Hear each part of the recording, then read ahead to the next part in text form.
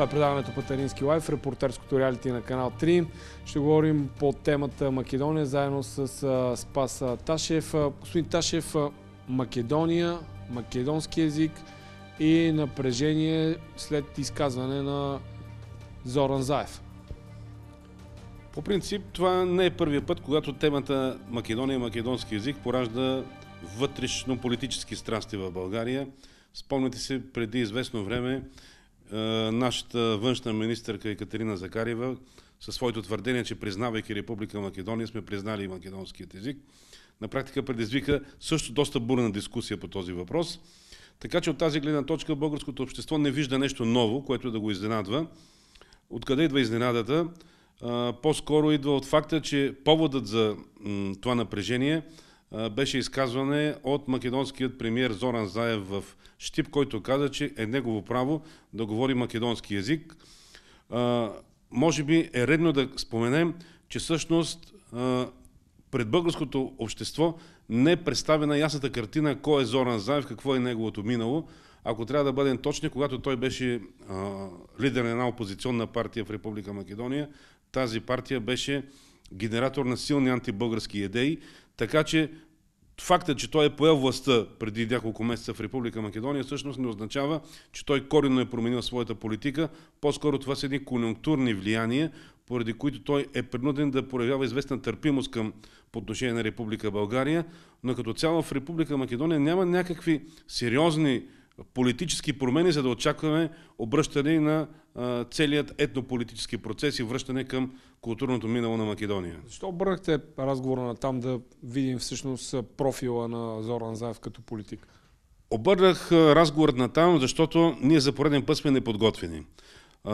По отношение на изказването на българският министр на отбраната, всъщност мен ми е трудно да коментира дали то е навременно или не, поради простата причина, че неговият, неговият ресор не е политиката по отношение на Република Македония.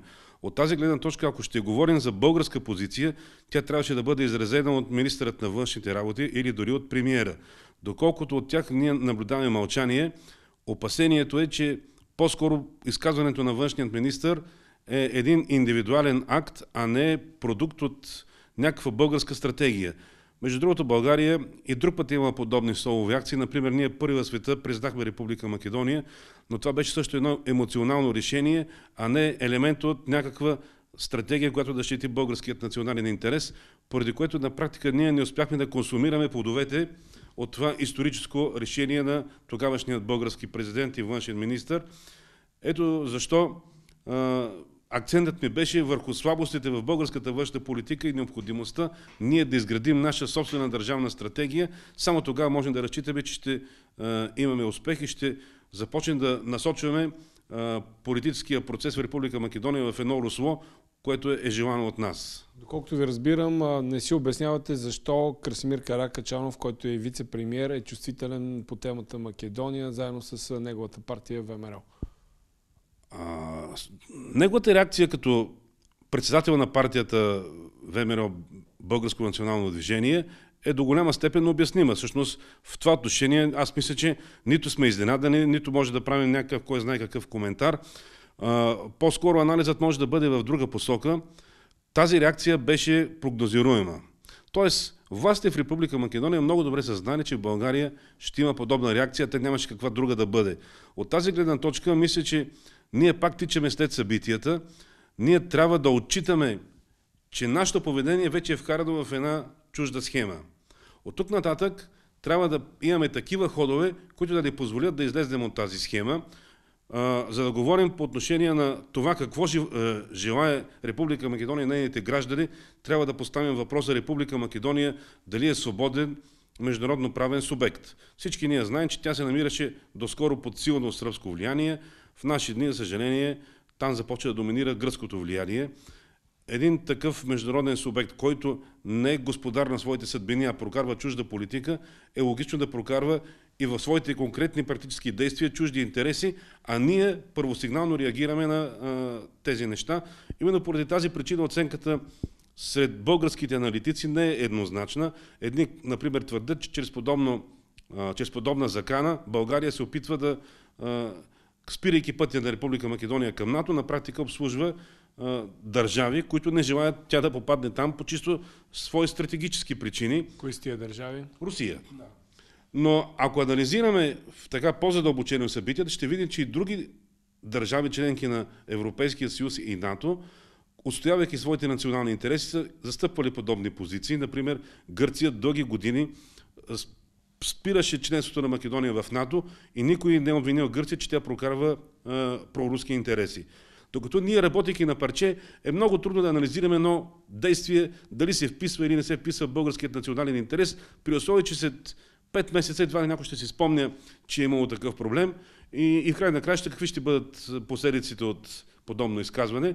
Мисля, че то нито ще попречи на а, евроинтеграцията на Република Македония, още повече, че други държави имат доста по- силен глас при взимането на подобен вид политика, а България, съжаление, често пъти е прекланяла глава пред подобни решения, вместо наистина да защити своят национален интерес. Също с моята апел е част по-скоро българското общество, българските политици да изработят една стратегия не само по отношение на Република Македония, но по отношение бъдещето на България на Балканите, тъй като без да имаме подобна визия, много трудно ще е, правим външна политика през 21 век.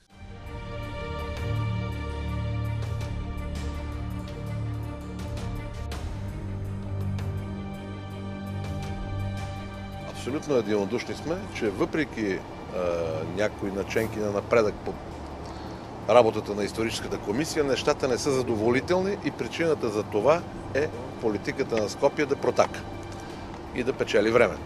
От тук нататък това, което си договорихме, естествено, че не може безусловно да бъде подкрепата, а между другото Външно министерство го е заявява многократно.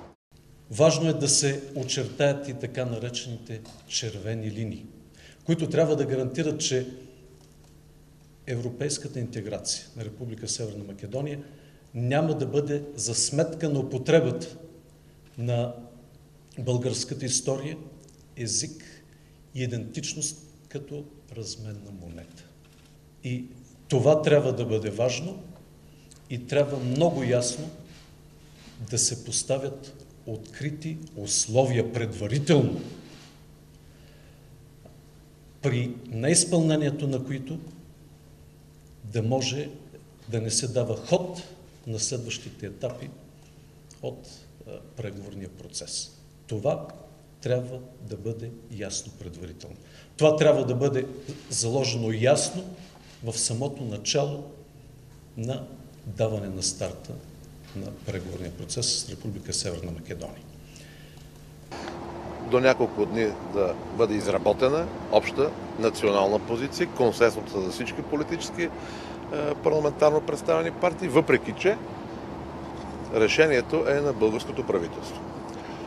Нека да изработиме позицията. Аз също ще направя своите предложения, но както каза и министър Захариева, ние не можем безусловно да подкрепиме Македония и трябва да заложиме много ясни условия в самия процес, още за насрочването на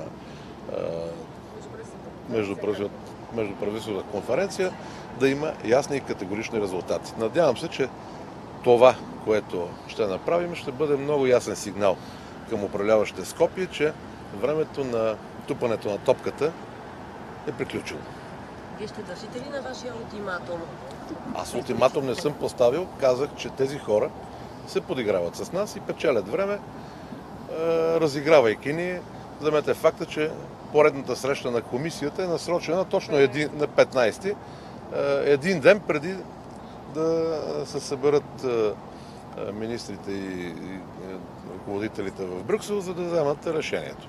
Другото, което коментирахме, че за нас добрия вариант е да няма разделяне между Албания и Македония, защото това са две страни в региона, за който България е заявила ясни е, политически намерения да се придвижват към членство в НАТО и в Европейския съюз. Винаги съм казвал, че деца вика до вчера говорихме, че сме един народ.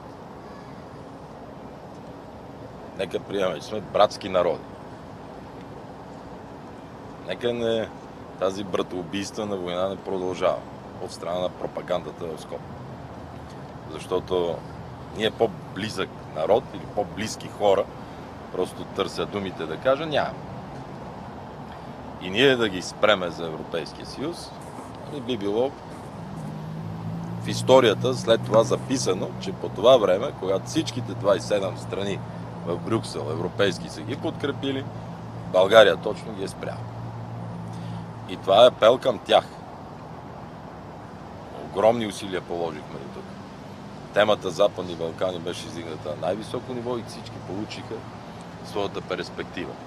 Затова ние искаме и Албания да върви заедно с преговорите с Северна Македония, защото такива празни дупки, да ги наречем, или черни дупки, които не са член на Европейския съюз, не е хубаво за единството на Балканите и още за просперитета ми. Това много пъти сте го чували от мен. Една такава открита, коректна и конструктивна позиция. Ще повторя още веднъж и на това държа. Ще бъде не само в защита на българският национален интерес. Тя ще бъде от полза за Европейският съюз, защото няма да допусне внасянето на междусъседски проблеми в нашето европейско семейство и ще покаже зрелостта и отговорността на България за стабилността на Съюза.